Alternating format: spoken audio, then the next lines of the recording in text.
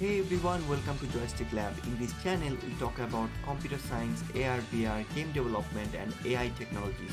If you are new to this channel, consider subscribing and hit the notification bell for future updates.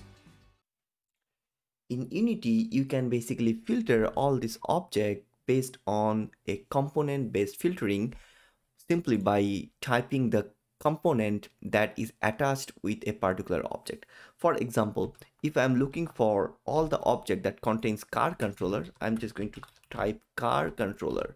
So the thing here is that you need to make sure that you write the whole name, the complete name of the script, otherwise it's not going to show up.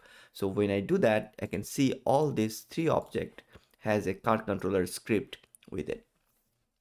One more thing here is that this is not case sensitive. So you can do uh, smaller case C that is also going to work.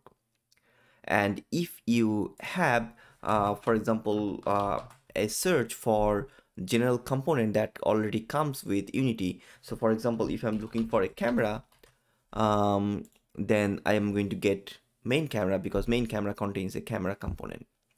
We can do similar um, sort of filtering in terms of the assets. So when we are looking for a certain type of assets, we can click on this search by type and then we can look for that certain type of assets.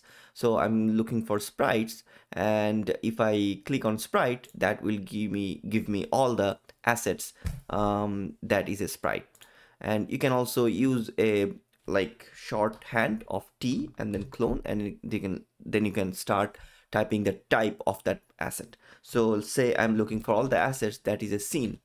So I'm going to do that and that is all the scenes that we have in this uh, project.